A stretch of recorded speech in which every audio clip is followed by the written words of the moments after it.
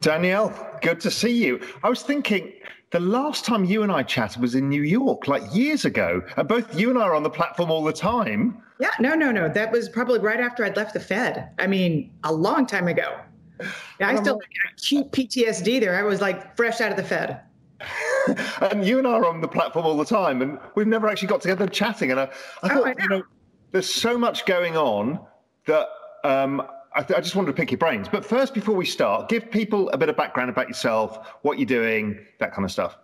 So uh, I, I, have the strangest career path, uh, probably not the strangest, but one of the most eclectic that I've ever heard of. I, I, came out of business school, MBA in finance, went off to Wall Street, worked at a firm that's no longer with us called DLJ. Uh, Tony James, who recently uh, he, he retired from Blackstone, he beautifully sold the firm at the very height of the internet dot boom craze. Uh, some of the equity analysts that I worked with at DLJ uh, made their mothers proud later in life. They went and testified before Congress for all kinds of lovely shenanigans.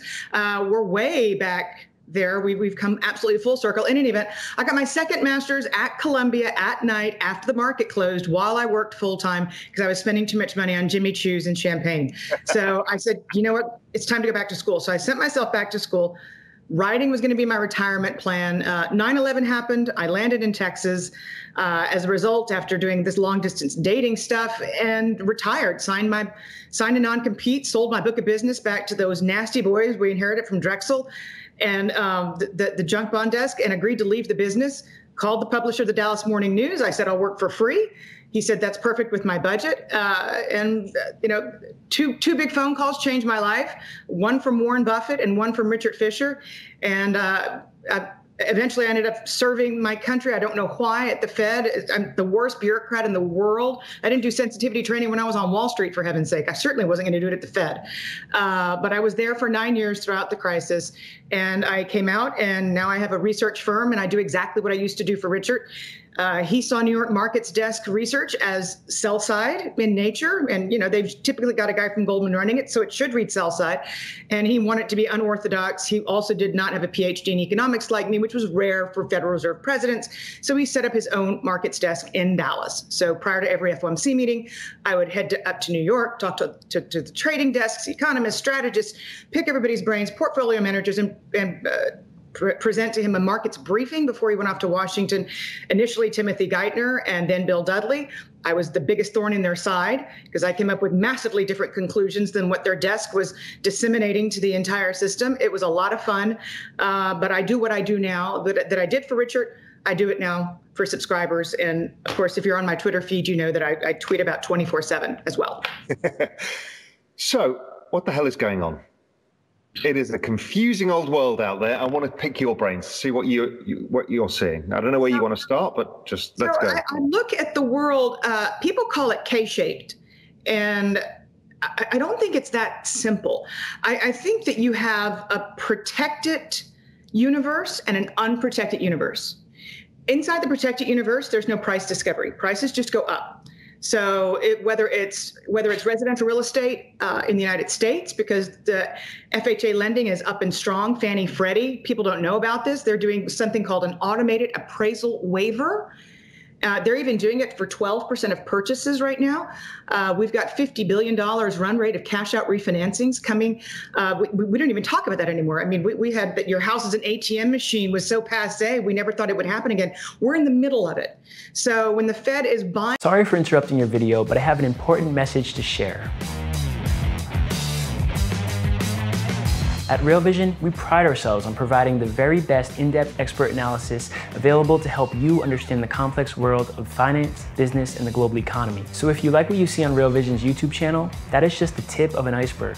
You should come over to realvision.com and see how we are not leaving any stone unturned, from publishing more in-depth videos, live discussions, written reports, and our latest feature, The Exchange, where you get a chance to engage with experts and fellow subscribers and learn from everyone's experience it is an experience which you live and you learn from. So if you go to the link in the description or go to realvision.com, it costs you just $1. I don't think you can afford to be without it.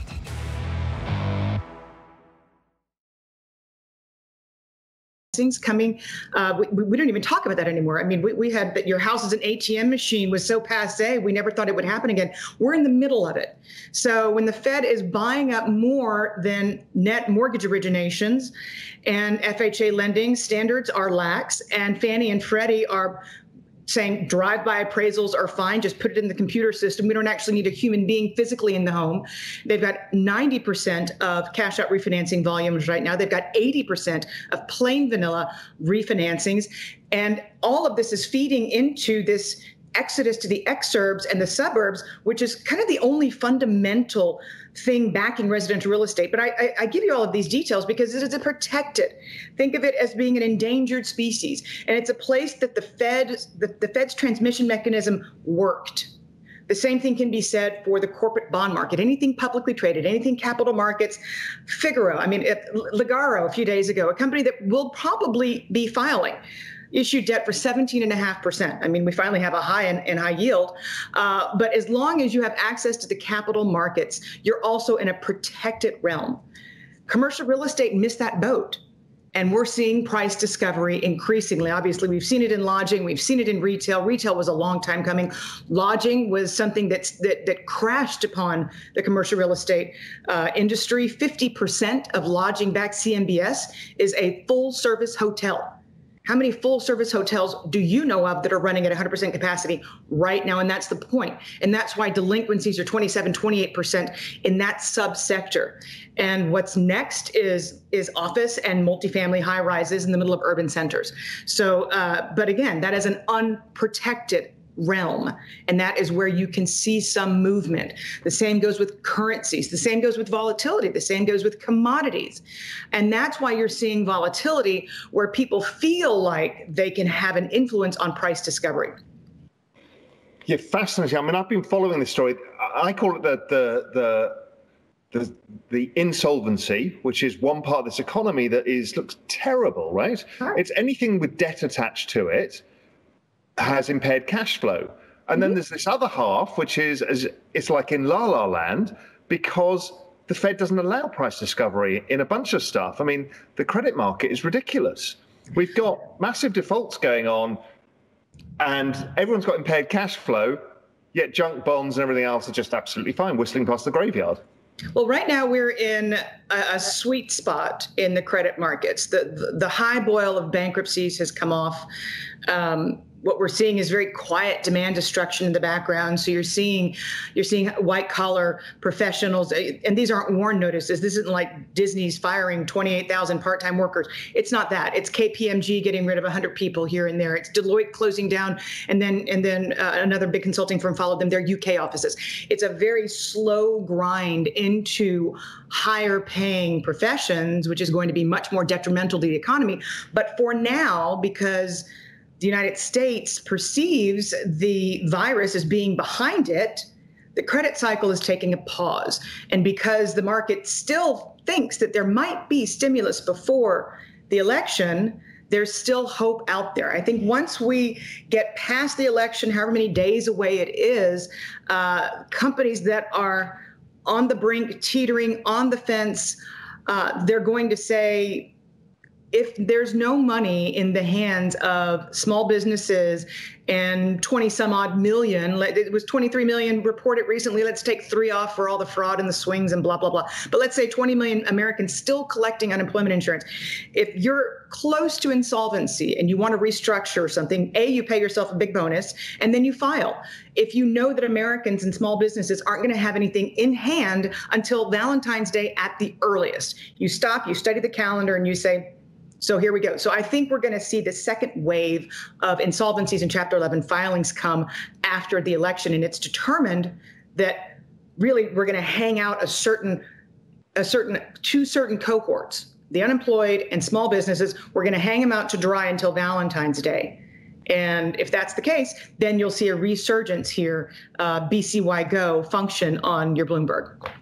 And also, you know, we talk about the virus, and again, I, I don't want to get involved in the shit fight over how people interpret it, but all I do know is cases are rising everywhere around the world.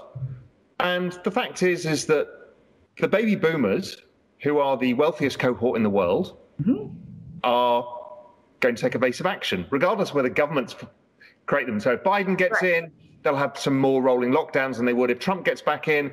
Either way, people are going to take evasive action. So all I can see is a renewed slowdown in growth. We're seeing it in Europe already because right. they've got it bad. And so I don't know. I just wanted to see what your thoughts are. My kind of well, hunch is that we go through this. We've got a four or four month window, as you say, where we may have no stimulus, slowing growth, and a load of these small companies, particularly, on the precipice. How, how do you see this next kind of four months play out? So, um, you know, at the risk of, of waking the demons on Twitter, because you you mentioned the case word, you mentioned the c word. Don't mention the case word because we're testing more. So, uh, the, the way I see it in terms of curbing consumption is if you know somebody, a relative or a friend who's in the hospital, it's pretty simple. Either they're at home and COVID's a no big deal and they got over it in a few days, or shit, somebody I know is in the hospital. Right now, we've got 41,350 hospitalizations in the United States. That's what I look at because that is what is going to curtail somebody's uh, consumption behavior. You've got Republican governors in Nebraska right now doing partial shutdowns, New Mexico. You don't, you don't have to have a change in the White House for the governors to say, you know what, we're, we're, we're a low density, low capita state, and yet, but, but in our, in our hospital system matches that population. So they're going to do what they have to do to not overwhelm their individual systems. So you'll see pockets, but but right now, if you look at the R naught, if you look at the transmittability of the virus, we're down to four states one, two, three, four, with a an, an R naught of less than one. So the, the, the vast majority of the country is, call it four weeks behind where Europe is. So you got the European composite PMI this morning, the business outlook, and the differential between the business outlook and the US PMI this morning was one of the widest gaps in the history of the two. But again, if you want to connect the dots, look at hospitalizations and bring them together. And that's where we're headed. It's just with a lag. Yeah. And what, what I always have a problem is, I, I guess you do the same, is people put their own biases on this. And our job is just to look at the economy. Right. Right. and so, cool. yeah, is the economy going to pick up or slow down in probability terms? Well, if the virus comes back, it's likely to slow down. Right. I mean, you've got your top two quintiles of earners in America. The top 40% of income earners are responsible for 61% of consumption. You get a similar picture if you look at people 55 plus because they simply have more wealth accumulated after living here for longer. So a Gallup polling, and I, I don't quote many polls at all, but but if you if you checked uh, media bias fact check, it's a fantastic website. It shows you exactly where on the spectrum your source is in terms of left to right. Gallup is smack down the middle since 1935. They have no bias. They simply take the surveys and report the data people who have college educations or more believe in the efficacy of masks meaning if they're if they're in a state where most people don't and they're acting like cowboys your most educated people are going to be like here i am i've got my instacart i've got my amazon I'm, I'm fine i'm by the way i'm in a bigger house i've spent more furniture sales have gone through the roof home improvement has gone Through. this is all a reflection of people saying my house is my bunker but if if you have people stay away from consuming who are either in a demographic cohort, older or wealthier and more educated, you are going to put a governor on growth. It's as simple as that. If you look at offices, excuse me, if you look at small businesses in high zip code areas, Opportunity Insights is just a treasure trove of data. But if you look at high zip code small businesses, there's a higher percentage of them that are closed in high zip codes because people come out less because they trust they're not they're educated enough to say why is politics involved with science? So they just step back from it and say i'll be out when it's safe. You let me know. Yeah exactly right. So why is the bond market not seeing this? It kind of backs up a uh-huh. bit. I mean i'm i, think as you are as well i'm i'm bullish bonds because i i just i think the economy is slower than expected but the bond market's been backing up. What's your thoughts about this? Well uh, don't fight the fed uh, look, Jay Powell needed to create a narrative out of thin air. And if you want to create a narrative out of thin air with really high unemployment, you do two things. you have the the leading sector for an economic recovery, housing, roar back. And you buy the tips market. You buy the hell out of the tips market. You buy as much and then you have Hartnett and the Flow Show every week. And last night they were like, you know, seventh biggest week in retail investors, high net worth investors. You know, people are smart enough to read every Thursday the Fed's the Fed's uh, what their purchases, the composition of the balance sheet, and they're like, I'm following the Fed right into tips. So the Fed and investors are painting this oh God, inflation is right around the corner narrative by force. It's just exactly what they did last year, September the 16th, when they launched Not QE, because the inversion of the twos, tens had passed the 30 day mark. And they're like, oh my God, history says that we're in recession. Well, no kidding, we're in recession. World trade was contracting for the entire year 2019. Lacey Hunt will tell you you have to go back to the double dip recession of the 1980s or 2007, 2009, that era before you have global con- uh, uh, contraction in global trade. Of course, we were headed into recession, but it was very slow. But the Fed had to launch not QE so that it could come out and buy the short end of the curve and physically uninvert it. Fine. So they're like, hey, let, what do we do to, to create inflation so that we can say we're going to let inflation run hot when 11 months since January 2012, when, when Bernanke announced the 2% target, they've hit it 11. God bless their souls. So, but they needed to create the narrative that they were, they were going to let it run hot. So they just, they, they made it. They've got the printing press. They just redirected it into the tips market. Pretty powerful stuff. And then you get the entire narrative with all of the strategies going real yields, whatever. But what you're saying is it's all an illusion. There is actually no inflation pressures right now at all. How do you have inflation with you, you? You do have. I, I just I just finished a four hundred dollar run to the Sam's Club. Uh, I mean, you do have inflation in food. You have inflation where it hurts people the most but you don't have inflation in rents, uh, which is one of the stickiest, stickiest parts of the CPI or PCE, however you want to measure it. And that is going to hurt the Fed more, and that is what they're fighting against right now. So, uh, inflation, where it counts the most, is through the roof in housing, year over year, 15% price appreciation, but the rental market is suffering and that's also an input. So it's there's a lot of cross currents going on right now, but in terms of if you if you think of inflation through the prism of pricing power, forget about it. And so the Fed have started making noises about doing something further along the curve, further out the curve, because obviously they've seen 10s and 30s backing up a bit. Not that they've gone very far, it's noise really, but do you think they're going to get back in soon? I mean, if there is this window that you and I are talking about, let's say there is no stimulus agreed before the election, doesn't feel like anybody wants that to happen. So, in which case, the economy gets sacrificed for three months. Mm-hmm. Do the Fed step in?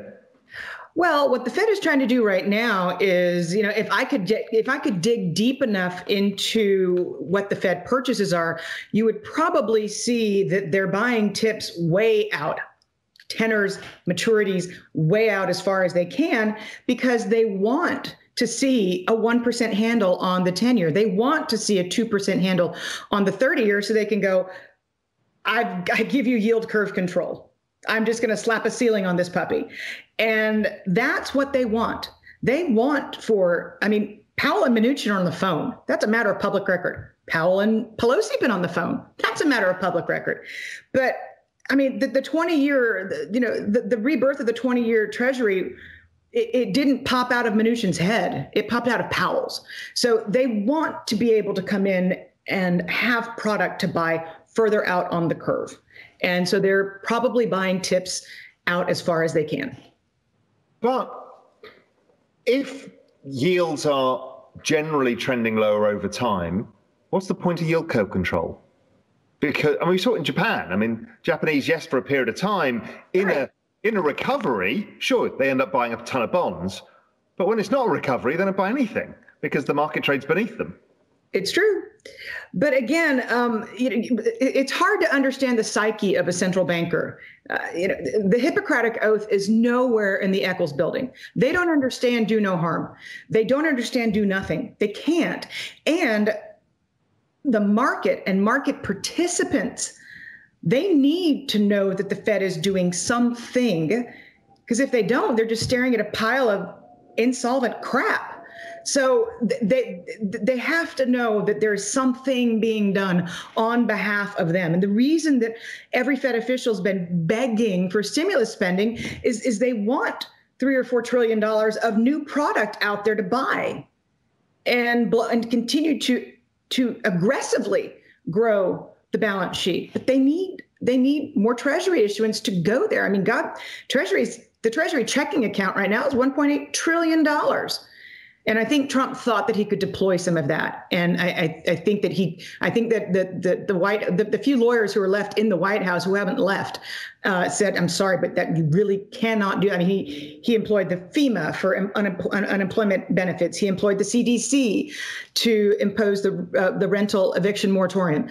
He's uh, had if he had more toys to play with he would in terms of executive memorandum if he could spend that 1.8 trillion he would that's sitting in the checking account so what the hell are they going to do with it well eventually they will i mean you know mcconnell this mitch mcconnell senate majority leader said at the beginning of, of the week you know we're going to be voting on on deploying that extra 100 150 60 some odd thousand, uh, billion ppp funding that was never tapped.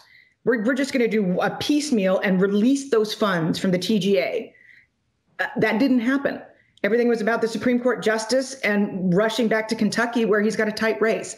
So uh, the the thing that pisses me off the much so much, Raoul, is that is that never in the history of the United States has Congress so blatantly put their interests in front of those of small business. Yeah. Well, people, yes, people, but 48% of landlords in America are small business owners. They've been hung out to dry. They've got mortgages to pay on these buildings. So it's it's um, it's the chosen, it's the protected versus the unprotected. I go I go back to my theme. I've been writing about it, and it's it, it's it's atrocious. I, and it still amazes me that it doesn't get more public discourse. I mean, as you say, I mean, what you're doing is protecting the old guard. Everybody, you know, it's the you know it's the one percent versus the ninety nine. You know, it's this is the core of the economy. The small shops and it, New York's been decimated, and, and nobody's there to help them. Yeah. I mean, no, I think there's 170,000 restaurants closed in New York. Yeah. And I mean, the, the, to add insult to injury, you have you have idiots like de Blasio going rogue and saying, well, we're just going to get rid of bail. And we're, we're just going to, we're, we're, we're going to force the police to say, you must put the gun down. I'm not going to use force because I've been told I can't. So you have, you have this massive wave of early retirements out of the police force. And, you know, the White House is like barking like seals happy. They're like, burn it down, burn it all the way down so we can blame it on politics. You're sacrificing the financial center of the world right now between what is not being done for the national restaurant industry and the national lodging industry. God, I mean, the Roosevelt the Roosevelt Hotel just closed for God's sake. Things that have been around for, for much longer than our great grandparents were. So it's but there's so much economically that is being sacrificed on the funeral pyre of politics. And what people don't realize is when you when you go this route there's all kinds of excitement because the census has released data that shows that applications to start new businesses have never been like this. Well what are people going to do in a linkedin world they're going to apply for a, for for for a tax license, whatever. They're going to say, "I'm Joe Q." I, I mean, I cannot get through my LinkedIn every day. I get ten solicitations from somebody who's CEO of their own company because they have to put something on their resume, but they're not hiring people and they're not generating revenues. So it's well, I mean, there are, but again, when you look at the stock market, nothing appears to be wrong. No, uh, here's another thing I want to talk to you about is I know since I've been basically shut in a, in a on a small island. Bless your I've, heart. I've, I've been spending money doing my house up, you know, things that needs to do, blah, blah, blah. And many of us have done the same, right? It's like, oh, God, the deck needs doing, those windows need doing, and all of that stuff, right? So we've brought forward a ton of consumption to do stuff. I, am hmm? more concerned than others are about 2021. Everyone thinks it's a shoe in recovery year. And I'm like, well, I've never seen a recession that's lasted less than 18 months ever. So why this case? What, what do you think? So, I mean, right now, I think if I'm at the National Bureau of Economic Research and it's my job to date the recession, uh, I mean, but let's say we see a 35% print. That's kind of the best one out there when we get the, the GDP report next Thursday. Uh, the question is, what's going to happen in the current quarter? If I'm at the NBER, how do I date this puppy? Well, industrial production's still kind of on the floor. Your your survey data is really good, but if you look inside the internals of both the manufacturing and service surveys this morning, employment's not there at all. So, and temporary hiring's gone through the roof because companies aren't willing to make the commitment. And, you know, CEO confidence a few days ago was reported uh, from the conference board. It's a quarterly print. It, it, it popped above the 50 line for the first time since 2018, like pre trade war, because 68% are planning to either cut their headcount or freeze their headcount. And a ton of them are, are planning to, to freeze pay. So CEOs right now are, they're like, this is amazing. I've got this, this currency called my stock price. I can go buy whatever I want. And in the process, I can fire a ton of people and I can get all the synergies that my consultants are telling me and my investment bankers are telling me that I can get. And, and that's all well and good. But in terms of productivity, economic output, it's a nothing burger. It's not. It's financial engineering in a different way. But the victim here is going to be employment. So, again, if I'm the NBER, I'm having a really hard time if there's a 1% or 2% print in 4Q for US GDP. I'm, I'm still having a hard time saying the recession's over. Even well, if, you also if you look at quarters. Because also, if you look at year on year, you know, if you look at I look at a lot of the real time data, I'm sure you do too. It's all still down. It's kind of suggesting the economy's still down five percent year on year, which is the biggest recession you and I have ever lived through. Right. And that this is the recovery. This is the reflation trade, negative five percent. And it's not clear with COVID coming on the rise, the lack of stimulus, what's going on globally, that you're going to get a pickup to above zero year on year. Obviously, you will do in March because we had this event. So the numbers get screwy again. But no, I, no, I mean, look, are, are, are people going to be doing their decks when it's there's there's a foot of snow on the floor uh, on the ground outside? I mean, furniture sales could theoretically hold in there. And again, if you know what's what's interesting about housing, what's most interesting about housing is Richard Curtin at the University of Michigan he has the most granular data for a total dork like me. You can dig so deep into this stuff. The people who are most enthusiastic about their home prices rising in the next 12 months are in the middle. They're right smack in the middle. So we have this cohort of aspirational consumers right now precisely because the average cash out refinancing is $62,500.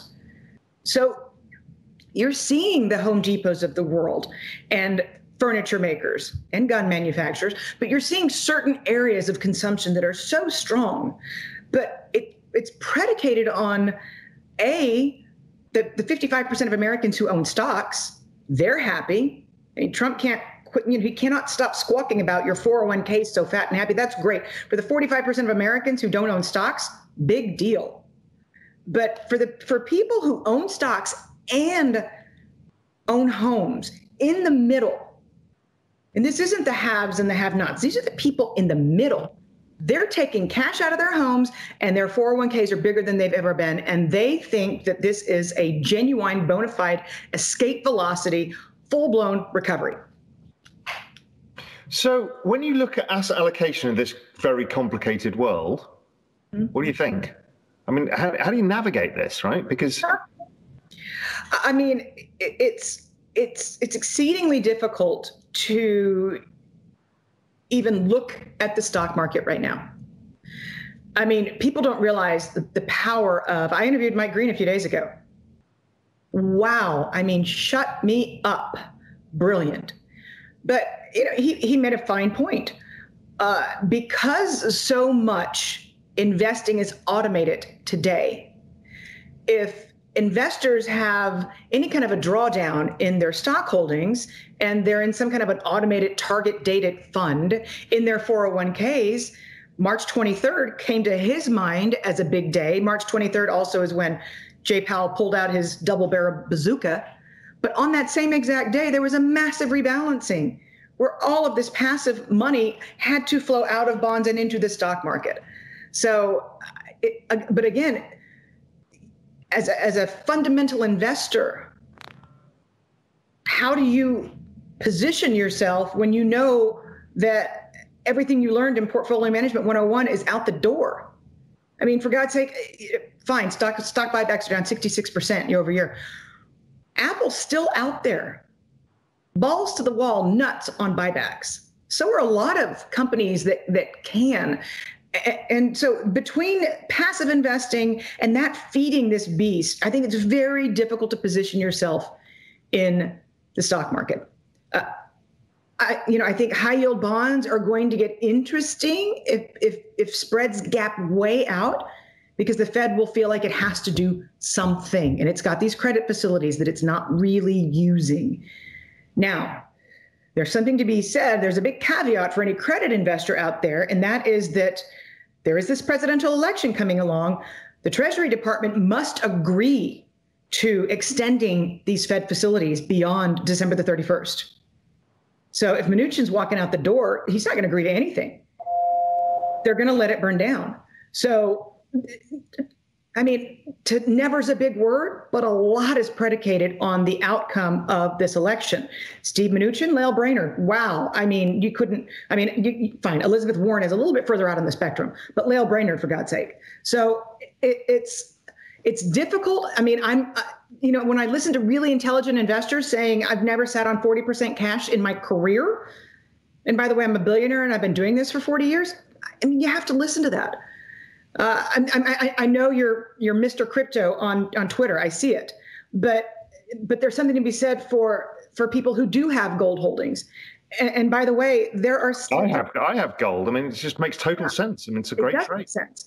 And and you know, my municipal bond holdings in my, my in good states, they're doing fabulously. And guess what? If Biden wins, they're going to do even better because it, it and it, and if Biden wins, they're going to do even better. And people are going to say, you know, okay, there's eight, nine trading weeks left in the year, maybe seven trading weeks if if there's an extended, uh, you know, period of uncertainty in terms of who's going to be president. But if Biden comes in and you're sitting on all-time high gains in stocks, what are you going to do?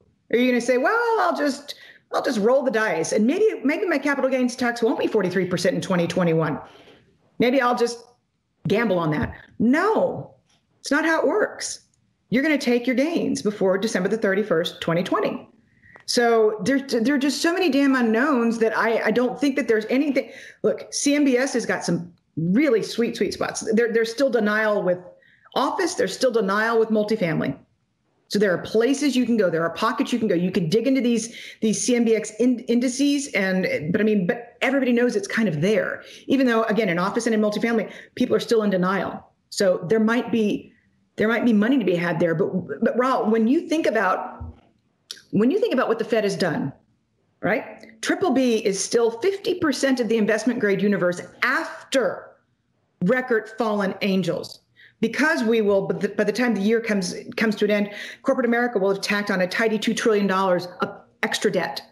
So what we've done with this we, we came into the year with debt to gdp non-financial debt to gdp holistically including the corporate bond market and all other forms of, of loans at a record 78% great financial crisis peak 74% so in an expansion we came into 2020 with 78% debt to GDP, non financial. I suspect that by the time we get to the end of the year, it'll be closer to 90%. So, with this great opportunity of this crisis to clean up our balance sheets, we've made them uglier. And that's why you see great interviews with Howard Marks saying it is nasty in the restructuring pits. And we're in the mud, and I'm, I'm nobody's brother. That's what he said. I'm nobody's brother.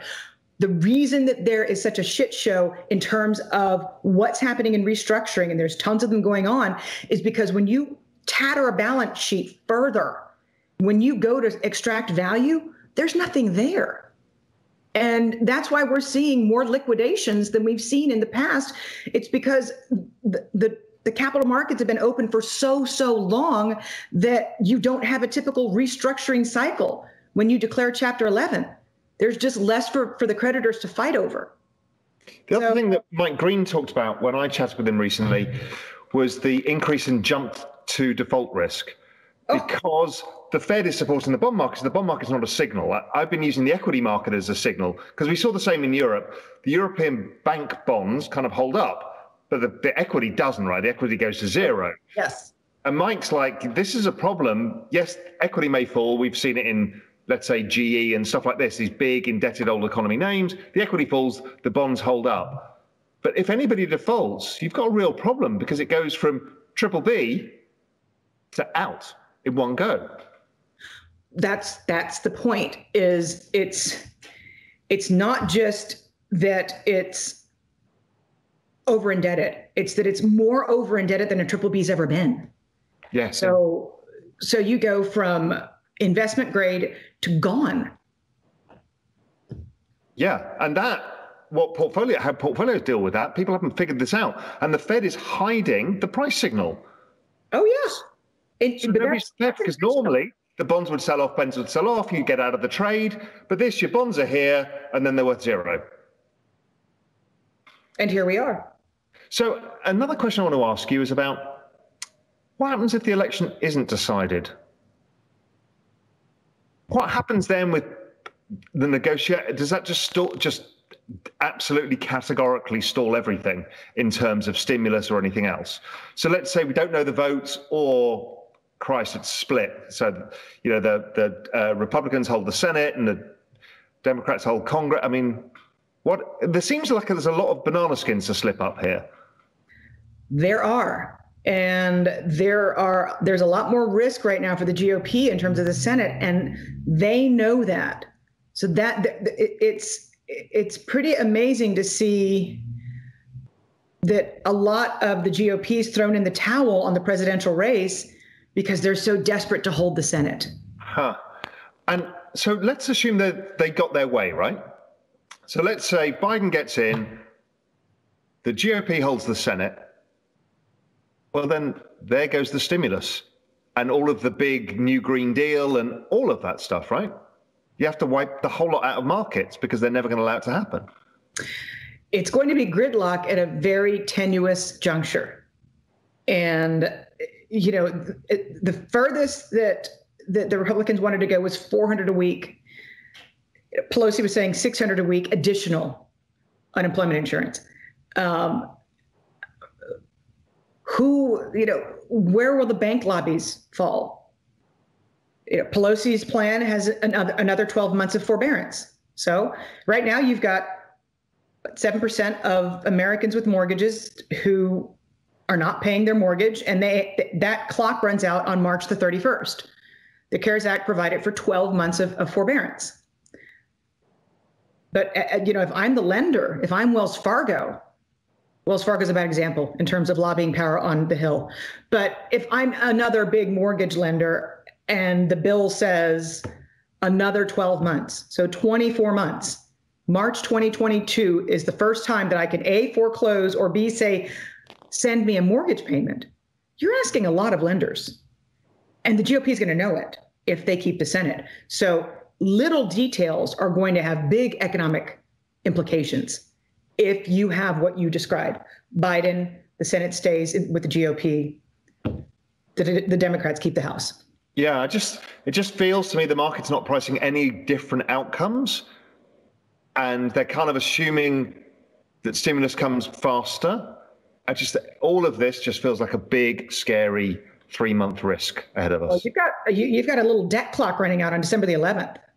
So I mean, something's gonna something has to be done during the lame duck, or you're going to have the government shut down. So it, it's it's uh, it, Raoul, I, yeah, no, a contested election. I mean, I, that's why that's why Michael Bloomberg poured 500 million of his own pennies into the state of Florida because so few swing states this year are up for grabs. Florida's one of them, and they're yeah. still neck and neck. I mean, it's like, God, I mean, history's not supposed to repeat itself. So God help us if we have Bush Gore and hanging chads or whatever the modern day virtual equivalent of a hanging chad is. But that's why so much money's being poured into Florida right now.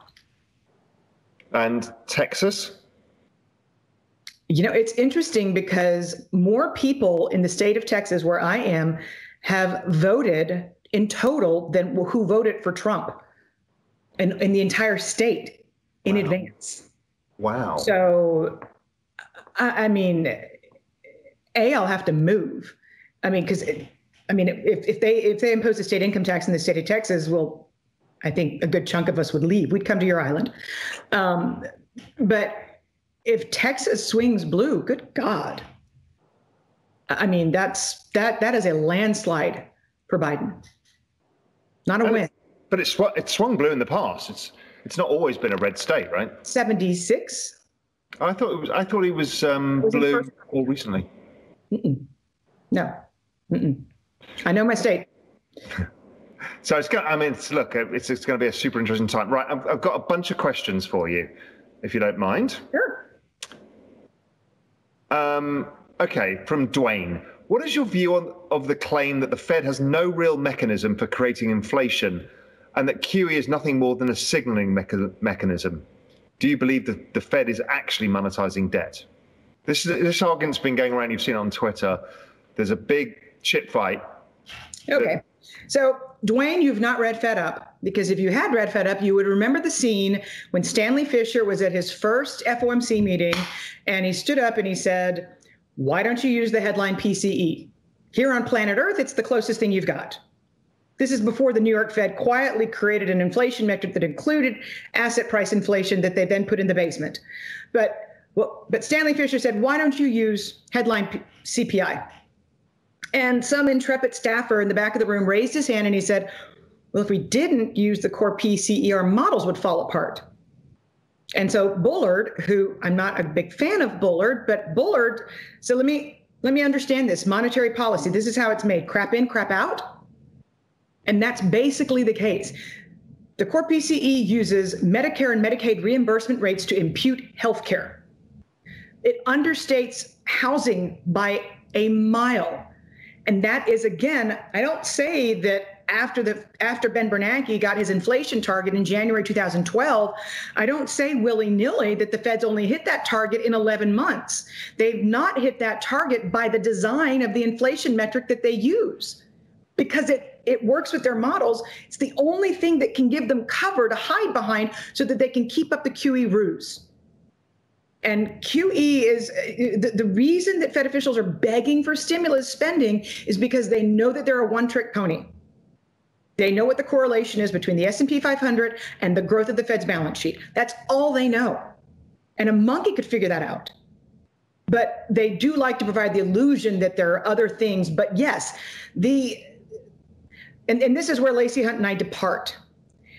Even if they don't reopen the Federal Reserve Act of 1913 to allow the Fed to buy treasuries at auction, which would require the law to change, what difference does it make if, and you see you see that the, the, the TIX flow. You see foreign investors stepping back from our treasury market, meaning the Fed had to step in. So if the Fed is effectively absorbing treasury issuance, why wouldn't you call it monetization by any other name if it's de facto? I mean, people are like, well, they're going to reopen the, the, the, the Federal Reserve Act. I'm like, Congress doesn't have to do that. And by the way, in the BlackRock fine fine print in the BlackRock, people say the argument go, the argument goes, and I'm I'm not wildly interested because it's too wonky. But everyone says, well, um, the Fed can only add to reserve assets of the banks. So if the banks don't lend, because we've got, you know, M2 is through the floor, so therefore you can pump as much money in. Works. No, no, you're not forcing the banks to lend. No, no, no. In, in the sense of how they envision it, I mean, it's it's their senior loan officer data. It's a Federal Reserve survey, for God's sake. They know that lending standards are going through the roof. They know that things are tightening up. They know they know that banks are not extending credit because banks can't do price discovery on their own credit books. Mm. With the Fed where it is. So no, you're not creating, you're not generating economic growth. But did we? I mean, we had an entire cycle of non-productive gains by building a bunch of homes when four out of every 10 Americans were indirectly or directly employed in the housing market. And then we just flipped a switch and said, you know what? Okay, what's the next non productive endeavor that we can embark upon for 11 years? Oh, I know, finance. We'll just do financialization of the US economy, which is not productive. So, had companies been growing organically, we wouldn't be in the mess we're in today. But instead, they, they were like, I mean, Ed Yardeni himself, who's been a bull for as long as I've been alive, Ed Yardeni himself, you know, his data showed 56% of debt issuance, excuse me, 56% of, of share buybacks were financed by debt. So again, it's not productive, but as far as QE actually working, it's the signaling mechanism. Yeah. It's the faith. It's the confidence bubble that my buddy Peter, Peter Boockvar talks about. That's what this is. This is all a confidence game.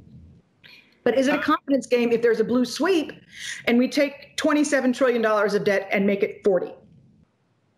That's when you go from disinflationary pressures to stagflationary pressures. And that's a different ballgame.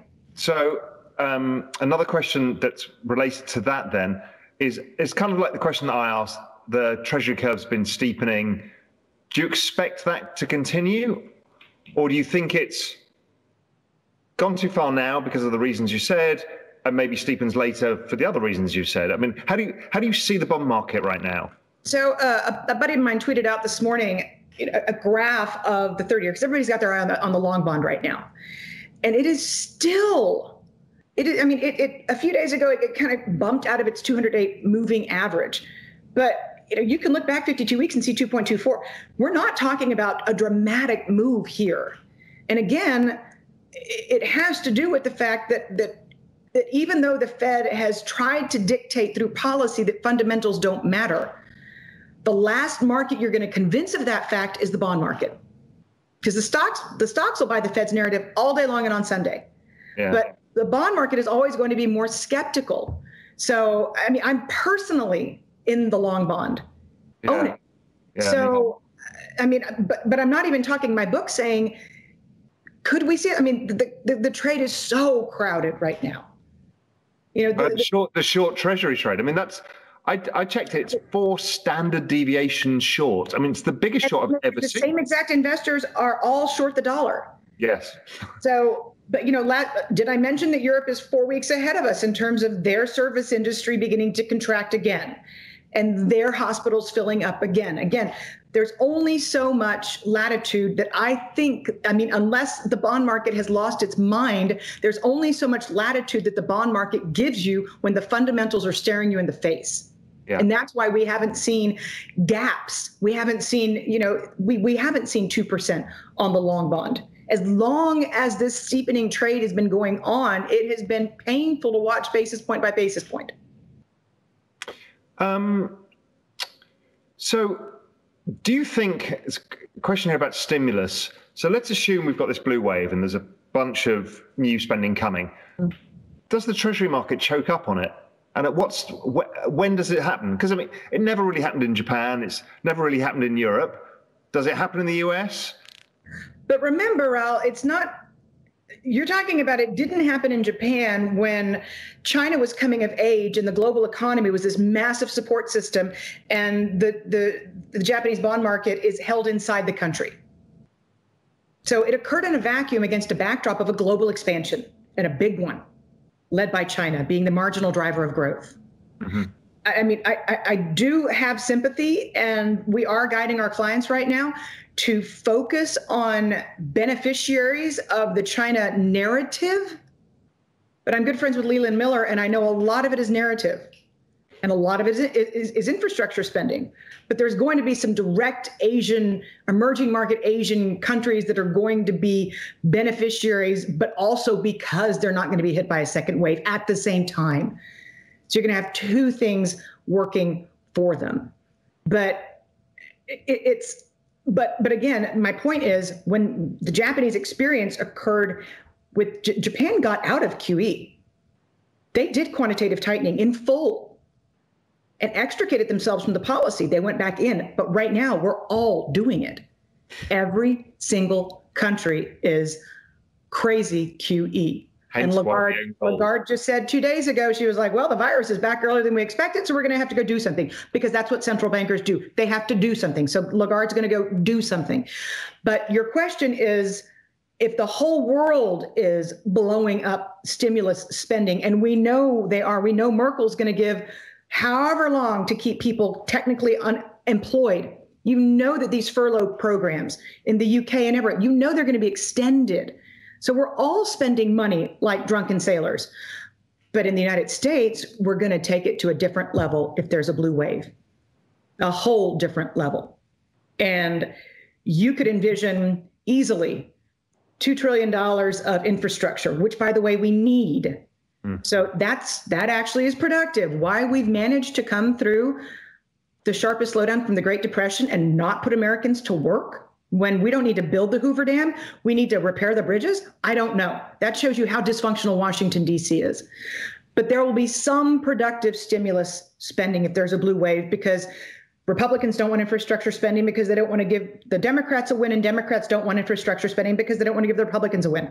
That's how policy's made. But if one party can take credit for all of it, FDR style, they'll do it. So that'll be a couple trillion. And then we know that the HEROES Act was three and change. And then you know he's going to start his Green Deal immediately because it's going to create jobs. He didn't explain in the debate how it was going to create jobs, but he promises that this Green Deal is going to create jobs. So you could easily get to five, seven trillion dollars immediately of stimulus spending. Then you start to worry about stagflation because China has its eye on the eventuality I'm not one of these people, trust me, they're at 3 a.m. on my Twitter feed. They're like, we're losing our reserve currency status at 5 p.m. tomorrow. I'm like, dude, go get some sleep. Seriously. But, but but China does have its eye on that. And China does have a third. Huawei itself has a third of all the telecommunications equipment in the world. And they are the next generation of AI. And if if they see this as an opening, right? They came out a few weeks ago and said, we're going to strategically take our treasury holdings down to $800 billion and we're going to keep them there unless there's a military conflict. I'm like, somebody just said that out loud in China and nobody paid attention to it. So they're they are they're actively proactively because they know the Fed's going to buy everything. So they're stepping back from our treasury markets like the tree in the forest that nobody hears falling. If there's an opportunity in the future for if, if we don't get enough out of our stimulus spending, if we throw money at people, if we launch universal basic income, if we slide into a socialist light state, that will open up the door for the company, for, excuse me, for the, for the country that has been acting like like a capitalist system, China, except with you know an iron fist and guns and full control of the financial system. So, sorry, Kyle Bass, but sorry, it's they can they've got control of it. I'm sorry, but if they see our stimulus spending be non-productive and just tack on, tack on, tack on to the balance sheet, then you start to see an opening for a switch in the reserve currency. Um, somebody's asking about, and this is everybody's worst, worst nightmare do you think this debt boom can keep going beyond 2021? I mean, I is this not the the pin that pricks the debt bubble? And if not, what the hell does that mean? um, I mean, look, the stimulus spending I just described is going to be hoovered up by the Fed.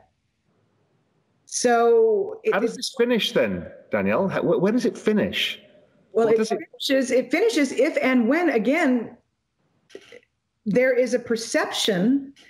No, no, it, it finishes, well, based on fundamentals. But what fundamentals?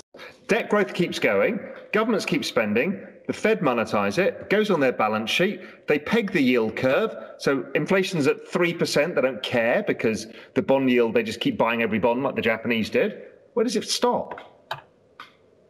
Well, that's when yield curve control truly comes in, because then the Fed would be fighting a war. Yeah, I mean, they'd have to buy every bond. I mean, the Fed would have to buy every single bond because what you're describing is is a good portion of the US workforce as companies automate, as layoffs continue in the background. I see the initial claims data, I get it, but they're still automating at the fastest rate they have. So there's going to be a massive drag on the labor force for years. So if you pay them to not work long term, and if US productivity is not in theory, but in practice, crumbling, and if we continue to, and that's the thing, that's again where you get to a Biden win versus a Trump win, a blue wave versus not a blue wave. You might have more antitrust with the blue wave. Yeah, agree. But you know, I read a really good report a few days ago that said that retail is going to be that that what we used to term as big box is going to be the survivalists next time, and they're going to be badass, and they're going to have rock solid balance sheets, cash flow, because they're going to put all the small businesses out of business because retail's not coming back as we know it. So it's, I mean, it it's, it's very difficult for me to conceive a year from now having this same conversation. But if there is a blue wave and Jay Powell gets enough product and the world starts to lose faith in the direction that the United States is going, and if we if we just decide to say capitalism is is not theoretically dead, that the that the Fed's been killing it for a generation, capitalism is dead, and we're just going to support a bunch of monopolies through Fed policy and then pay everybody else universal basic income to not work, then you will see the Fed actually have the ability to execute on yield curve control because nobody else will want the paper. And the, at that point, that might be the thing that turns the dollar lower. I mean, I still think it goes higher first, but I don't know what your thought is on the dollar as a final question. Uh, I mean, that would send the dollar lower finally. And again, but what what what people are talking about, people don't understand that, that, we were coming up on the 40th anniversary, right? 1981 was the last time we saw appreciably rising bond yields in the United States. I don't, I just, I don't think that cycles can go. This cycle, a, it's gone on for longer than most, going back way back in history. But if if we decide to recognize socialism, socialism in the United States, and I hate to use such a political term, but if we decide to recognize it by allowing the oligopolies to take over and be the haves in the credit markets and stay alive by virtue of the credit markets, then I think that we do have to see rising bond yields. I think the bond vigilantes will wake up from their but, long, long slump. I've always, I've always wondered this is yeah, there's a lot of talk about oh, we're going socialist, right? Some some social policies, different stuff. Okay, fine. So if that were the case, then why hasn't Germany got seven percent inflation? It's not inflationary. It's a red herring. Okay, 2005, Germany launches a skills program to reskill their workforce. They have the lowest youth unemployment rate in Europe. Vocational training is not a bad word. That every, everybody doesn't doesn't need a four year liberal arts degree, and um, so so they they've been able to stay above the fray. Plus, they have control of the currency by trashing every other country in Europe with it. They use it as a weapon. Where Germany is vulnerable, what I'm trying to say, Raoul, is that Germany got a return on its investment for the money that it put into its economy. But others didn't, right? So even Southern Europe can't generate inflation. Oh gosh, no. Sweden no, no. doesn't. So I'm just not sure the social policy. Youth unemployment rates that are 15%, 19%. Yeah. So, and that's the question. I'm still not sure. I understand it's inflationary as it happens, right? It's a big fiscal stimulus. And I think, like you, seven, 10 trillion, whatever ridiculous number, that's mm-hmm. the that's what happens.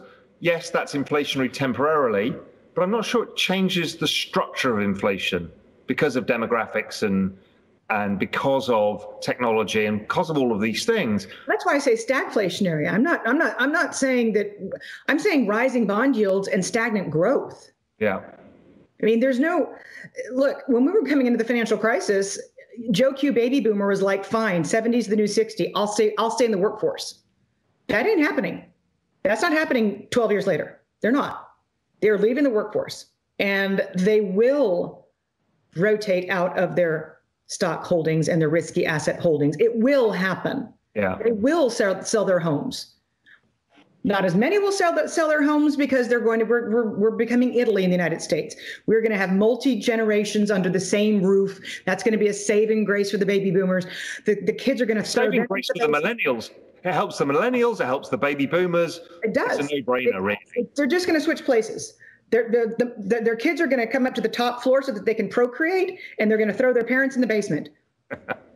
and it's going to be a demographic win-win but it's not going to generate the same as if the kids have, had gone off and established their own house and home mm. it, it, it's not the same there, there, there's, there's not the same economic dynamism as you would normally see with one massive generation handing off to another true danielle listen amazing lots lots to think about. I'm sure people have loved it. Uh, lots to cheer over, and let's see how the next a two weeks plays out. Yes. And then the next three months after that, because you know I think it's you and yeah, I. There's one day to keep in mind right now. It's if if nothing can be done, then we're looking at money in hand on Valentine's Day. Just think Valentine's Day, and that's where you should have your short-term view in terms of where the economy's headed. Again, and follow hospitalizations. Go to the COVID tracking COVIDtrackingproject.com forget the cases, just follow hospitalizations because that's what's real to people. So absolutely, Danielle, as ever, fantastic to see you. Absolutely. Thank you. Thank you. Take care. Thank you for watching this interview. This is just a taste of what we do at Real Vision. To learn more about the complex world of finance, business, and the global economy, click on the membership link in the description. Give us seven days to change your life. This will be the best dollar you ever invest.